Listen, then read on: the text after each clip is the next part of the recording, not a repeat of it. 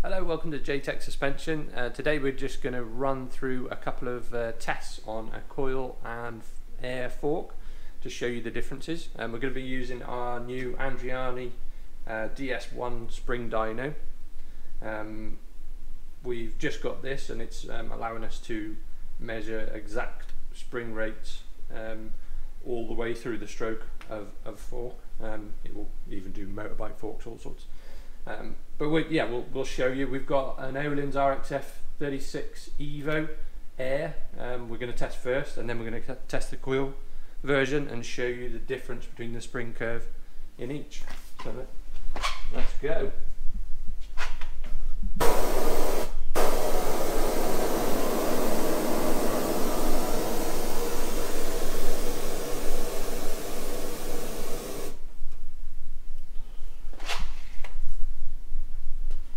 So we'll download that spring curve.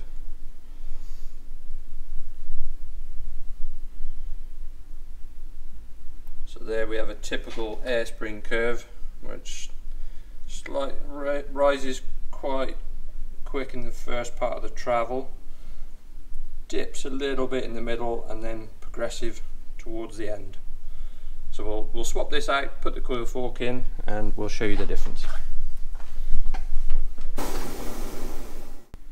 So we've got a coil fork mounted now, we'll give this a test and you can see the difference.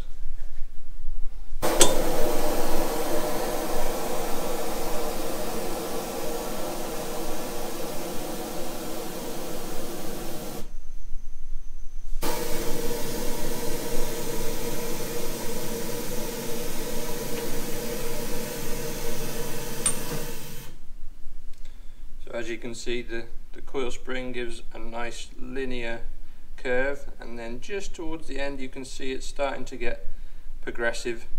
That's the air pressure build up in the lowers. So as you can see from this compared to the air fork we have a softer initial part of the travel right up to 60 mil travel. Very similar through the through the mid travel but then firmer through the last third and it actually ends at a very similar point. So you can see a coil fork isn't necessarily linear all the way through the travel. It has got some progression.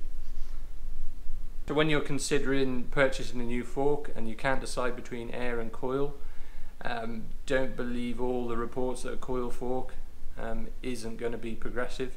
There is a slight amount of progression pretty much in any coil fork.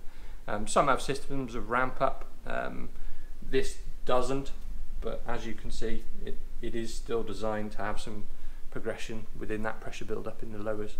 So that's why we pretty much always recommend the coil fork over the air. The only time we'd recommend the air um, is if you want a lighter weight fork or it is possible to set the air fork up more progressive than that. That is uh, the, the fork we've tested there that's um, set up to um, an average amount of progression, if you like. So the basically set up for an 80 kilogram rider as per Öhlins uh, recommendations. Um, so it, it, can be set up slightly more progressive, but it can be set up less progressive as well. Um, but yeah, we, we'd only really recommend the air fork over the coil um, if you wanted more progression or you wanted a lightweight fork. Um, otherwise, coil's the way to go. Yeah, so thanks for watching. Don't forget to like and subscribe, and we'll see you next time.